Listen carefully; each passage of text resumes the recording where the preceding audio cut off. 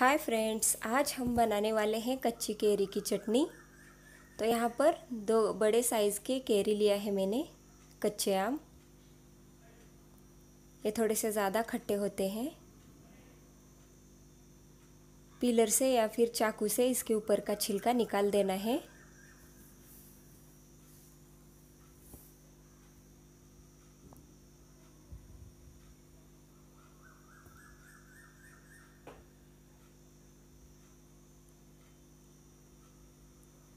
चलिए, दोनों ही कैरी का हमने छिलका निकाल दिया है और इसे बारीक टुकड़ों में, यानी कि बारीक पीसेस में कट किया है।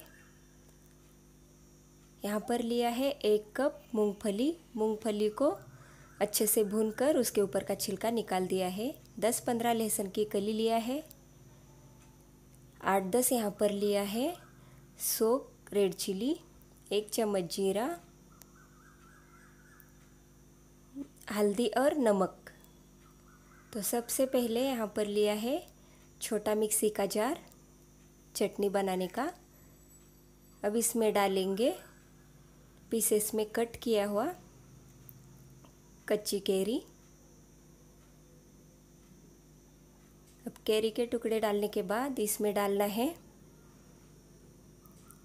सोक रेड चिली इस रेड चिली को आधे एक घंटे तक पानी डालकर भिगाया है।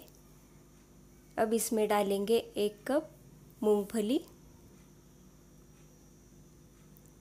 अब इसमें डालेंगे एक चम्मच जीरा। लहसुन डालेंगे।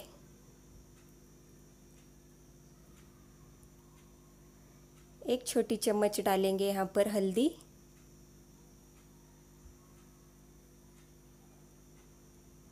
एक चम्मच डालेंगे नमक और थोड़ा सा डालेंगे। स्वादानुसार नमक डालना है। अब इसे अच्छी तरह से पीस लेना है। ये देख सकते हो आप, ज़्यादा मोटा भी नहीं और ज़्यादा बारीक भी नहीं किया है। इस तरह से मिक्सी को रुक रुक के चलाकर इस तरीके से पेस्ट बनानी है चटनी। ये देखिए, ये चटनी खाने में बहुत ही टेस्टी बनती है। आप इसे एक हफ़्ते तक फ्रिज में रख के यूज़ कर सकते हो, खा सकते हो। बहुत ही टेस्टी बनती है। आप चाहो तो इसे राई और करी पत्ता डालकर तड़का भी लगा सकते हो, लेकिन यकीन मानिए, इस तरीके से आप इसे खा सकते हो, रोटी के साथ, चपाती के साथ। बहुत ही टेस्टी लगती है ऐसे भी।